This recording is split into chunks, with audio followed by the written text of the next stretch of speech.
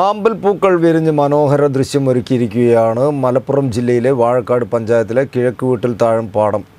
ആമ്പൽ പൂക്കളുടെ മനോഹാരിത കാണാനും ആസ്വദിക്കാനും നിരവധി പേരാണ് ദിവസേന ഇവിടെ എത്തിച്ചേരുന്നത്.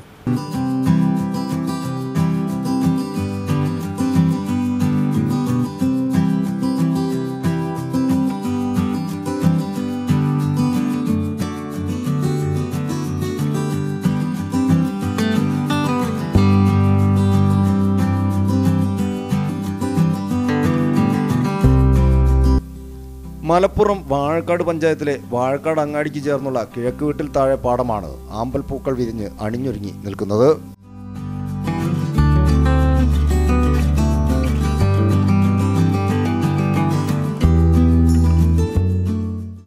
ആമ്പൽ വിരിഞ്ഞു നിൽക്കുന്ന പാടത്തിന് മുകളിലൂടെ നീർക്കാക്കുകളും കൊക്കുകളും മറ്റു പക്ഷികളും ചിറകടിച്ച് പാറിപ്പറന്ന് നടക്കുന്നതും ഇവിടുത്തെ പ്രഭാതങ്ങളിലെ മനോഹര കാഴ്ചയാണ്.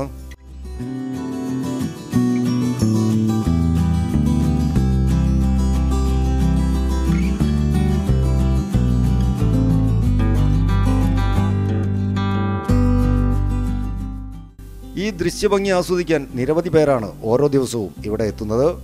പത്തു വർഷം മുമ്പാണ് കിഴക്ക് വീട്ടിൽ താഴെപ്പാടത്ത് ഇത്തരത്തിൽ ആമ്പൽ പൂക്കൾ വിരിയാൻ ആരംഭിച്ചത്.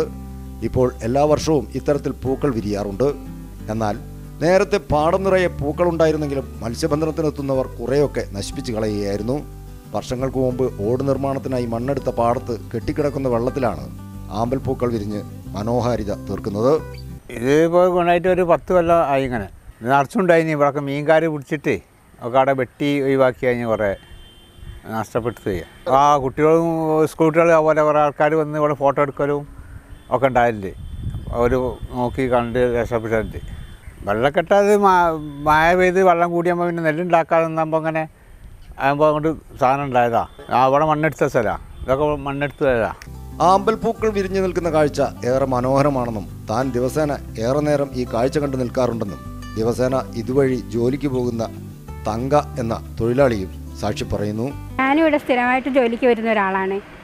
രാവിലെ വരുമ്പോൾ ഇതിന്റെ ഭംഗി കാണാൻ ഒരുപാട് സമയം ഇവിടെ നോക്കി നിൽക്കാറുണ്ട് പിന്നെ ഇത് കൊല്ലത്തിലും ഇവിടെ വിരിയുന്നുണ്ട്.